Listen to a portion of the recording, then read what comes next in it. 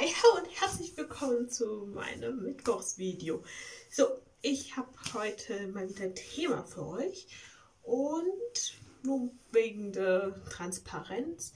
Heute ist bei mir noch Januar und zwar in der letzten Januarwoche, der Mittwoch. Oh, wartet. Der 29. Ja. Wir haben heute den 29. und ja, Januar halt. Gut, ähm, vor kurzem, ist jetzt nicht so lange her, habe ich ein Video hochgeladen, in dem ging es ums Thema, dass, ein, dass sich die Leute so gerne aufregen und dass es da einen Skandal gab zum Thema, ähm, dass sich einer als schwul geoutet hat, der aber gar nicht schwul war. Und ich muss im Nachhinein sagen, ich war vielleicht ein bisschen patzig gegenüber den Leuten, die da was. Hm. Und ich muss auch zugeben, dass ich bezüglich dieses ähm, Themas nicht ganz objektiv war. Es war nämlich wie folgt. Also zum einen, wir haben in unserem Bekanntschaftskreis auch viele homosexuelle Leute. Naja, viele, ich weiß nicht. Trifft es viele? Ja, wir haben ein paar. Also jetzt nicht so ein Paar im Sinne von Pärchen, sondern halt auch ein paar Leute. Und ich bin total für dafür, dass ähm, die dass Schwule und Lesben die gleichen Rechte haben.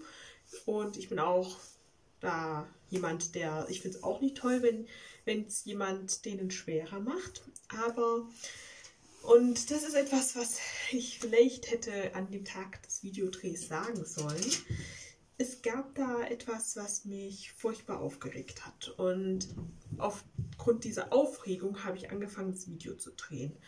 Und zwar habe ich ein Video angeschaut von einem, der gesagt hat, also ich kann es euch jetzt nicht wortwörtlich wiedergeben, ist schon ein bisschen her, aber der hat gesagt, ähm, also er findet, dass es unmöglich ist, dass man den Schwulen und Lesben schwerer macht und er ist total dafür, dass alle Menschen gleich behandelt werden. Das ist nämlich ein wichtiger Teil des Satzes.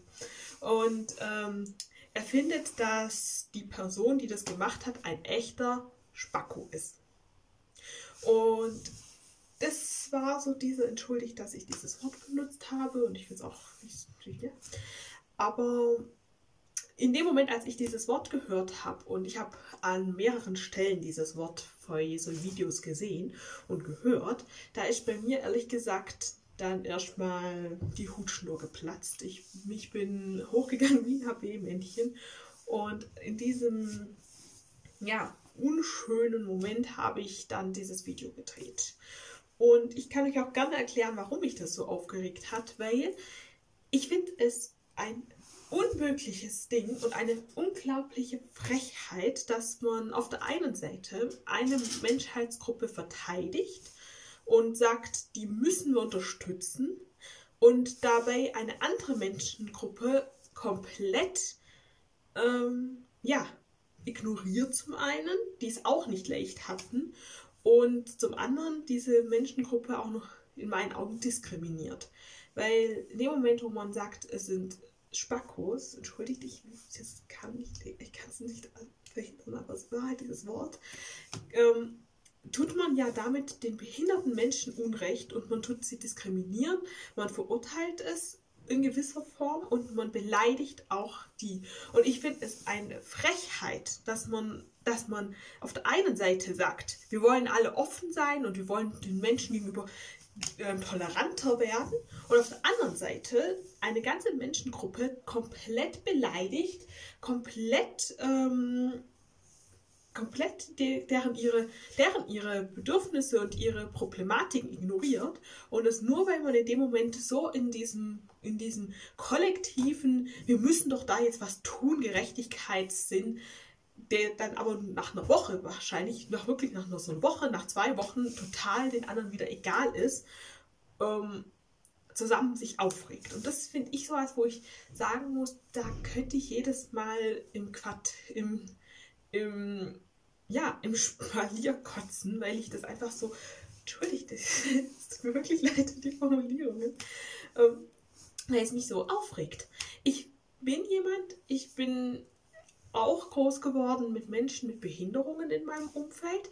Ich selber und auch meine, also auch meine ja, Familie sind teilweise eingeschränkt. Meine Mutter, die hat Probleme. Mein Vater hat ja, wie ich schon mal erwähnt habe, sowohl Rheuma als auch MS.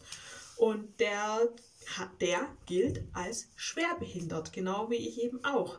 Und ich möchte da sagen, dass ich es dann unfair finde, dass man immer diese, entschuldigt, dass ich das jetzt so formuliere, aber so geht es mir in meinen Augen, diese scheinheilige Toleranz hat. Weil man sagt auf der einen Seite, ich bin jetzt tolerant gegenüber der einen Gruppe, nämlich Schwulen, Lesben ähm, oder auch meinetwegen Leuten, die andere, wo man anders, also andere Religionen haben oder irgendwas. Sowas wie die Toleranz, die man dann so, so nach außen trägt, so dieses, ich finde ich find alles gleich und ich bin, ich bin, ich toleriere es, dass alle da sind. Und dann auf der anderen Seite ist es oft so, dass man dann wiederum die, die denn nicht dieser Gruppe, der, bei der man gerade seine Toleranz beweisen will, angehört, komplett ignoriert und die dann auch anscheinend gar nichts zu, nichts zu sagen und nichts zu zählen haben. Also Vorsicht, bitte, okay? Die Tür könnte aufgehen und dann kriegst du eine Tür ins Gesicht. Das willst du nicht. Entschuldigt mich auch dabei. Und ich muss kurz mit Leo reden, damit ich mich ein bisschen abrege also ich habe schon oft mitbekommen, so Geschichten wie, äh, wir müssen toleranter gegenüber den Muslimen sein, wo ich auch, ich bin auch jemand, ich, ich, bin wirklich für Toleranz.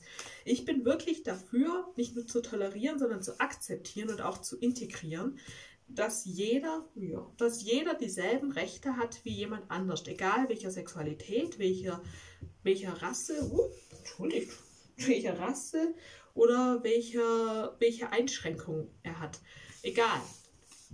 Und ich, ich habe da solche Sachen gehört, wie man muss doch die Muslime mehr integrieren. Und dann auf der anderen Seite hat die Person dann sich wieder, also ich habe wirklich ein Gespräch geführt mit jemandem und diese Person hat dann wiederum auf der anderen Seite gesagt, ja, ähm, und mein älterer Bruder ist ja der totale Spast.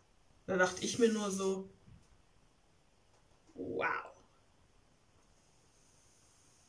Frischst du gerade meinen Teppich? Ich muss mal ganz kurz entschuldigt. Pfui. Man frisst nicht Mamis Teppich. Geht gar nicht.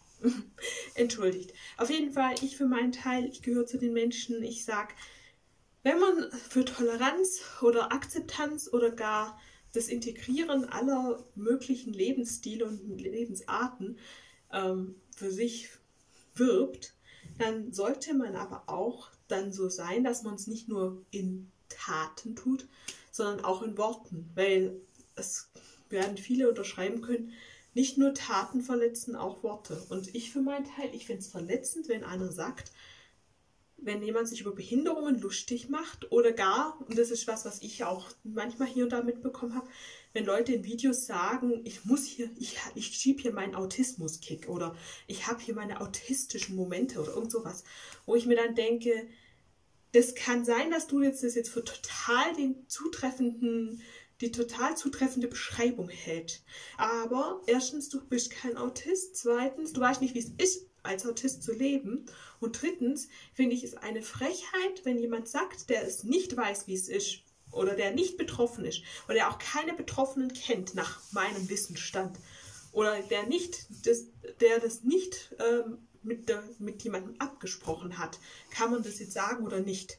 Und selbst wenn es abgesprochen hat, nur weil der jetzt ein Schwuler sagt, das ist in Ordnung, ähm, entschuldigt die Formulierung, entschuldigt, entschuldigt, entschuldigt, Schwuchtel zu sagen oder ein Behinderter, man kann mich ruhig Spaß nennen. Oder ein Autist sagt, ja, Autismuswitze sind lustig. Heißt es nicht grundsätzlich, entschuldigt, ich habe hier einen Hasen parallel dass es in Ordnung ist. Und es gibt nicht das universelle Okay, nur weil du einen Menschen gefragt hast oder meinetwegen auch nur 20 Menschen gefragt hast, dir da rauszunehmen, diese, diese Formulierungen zu benutzen. Das ist nicht in Ordnung. Und wenn du denkst, dass du dir das Recht rausnehmen kannst, dann bist du eigentlich an sich die intoleranteste Person, die ich kenne. Weil für mich heißt es in dem Moment, dass du alle über einen Kamm schert. Nur weil mir einer es okay gegeben hat, nur weil einer gesagt hat, ist es in Ordnung. Und das ist es nicht. Ja, das war mein heutiges Video und es ist eine Mischung aus Entschuldigung und Verteidigung und auch ein bisschen Angriff. Es tut mir leid. Also, ja. Ähm, ich würde mich freuen, wenn ihr mir meine Kommentare schreibt, wie ihr das seht. Ihr könnt mir auch gerne auf Twitter oder Facebook schreiben oder eine E-Mail an die bell.outlook.com. Ich wünsche euch jetzt noch eine wunderschöne, eine wunderschöne Woche. Ich werde jetzt diesen kleinen Mann hier verkuscheln und dann gleich noch mal ein Video drehen. Und ja, wir sehen uns dann. Bis bald. Tschüss.